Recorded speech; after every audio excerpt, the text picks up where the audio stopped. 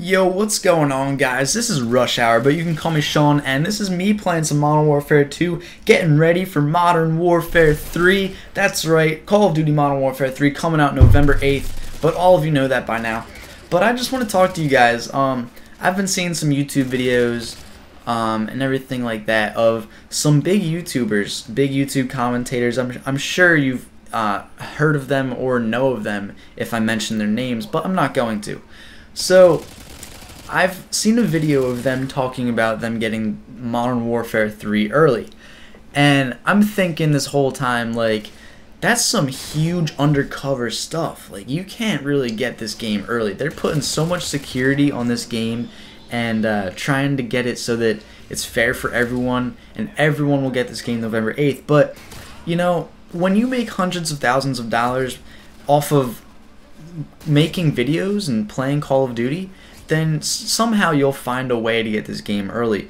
No matter if it's a week early, a couple days early, but you'll find out a way to get it early. So basically, I found a video of some big YouTubers um, thinking about ways to get this game early. Now, the normal way that people will get this early is if they like call up a Walmart or go to Walmart, go to GameStop, go to freaking Costco or something, some store like that that maybe they'll find like a teenager that works there for $9 an hour who doesn't really like their job that will be willing to risk their job to go into the back and steal a copy of Modern Warfare 3 or even multiple copies of Modern Warfare 3 for that matter. So basically these big YouTubers are literally trying to pay people thousands of dollars to try to find a copy of Modern Warfare 3 early. And you see what they're going to be doing with Modern Warfare 3 is they're not going to be playing multiplayer because that's the easiest way for you to get caught because no one would even be on multiplayer before the game comes out. So there's really no point of doing that except for getting yourself banned. So they're going to be playing like survival mode and campaign mode and filming videos at the same time and doing commentaries over it. And they're going to wait until November 8th when the game gets released to start pumping out all their videos they've been playing and making in the past couple of days when they got their game early. So basically they're spending lots of money to get this game early to make lots of more money because they're already popular they already have a huge subscriber base fan base and they're getting tons of views the day that Modern Warfare 3 comes out because they got the game early. It's completely unfair to people like me who I don't have thousands of dollars to spend on Modern Warfare 3 to get it maybe 3 days early. But they do, and they make a living off of it. So good for them that they're making more money off of spending more money. But you know, it doesn't really give a fair chance to people like me who who I'm going to be getting this game at midnight release. I'm going to be taking the day off from school and I'm going to be trying to make quality videos for you guys to watch. Now, I don't even have a big subscriber base, so I'm trying to get there. I'm trying to be like them. I'm not saying that if I'm like them, I wouldn't be doing what they would. I probably would be doing what they would because I would be rich by now and I'd have extra money to spend on the game coming out early.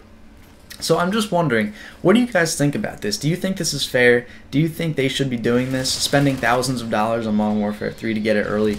And uh, yeah, what do you guys think? So I'm done on my little rant here, but I can't wait for Modern Warfare 3. I'm going to try to put out as many videos as I can on the first day on November 8th, and it's going to be a good time, you know? I'm just going to have fun with it, post up the videos that I want to post up.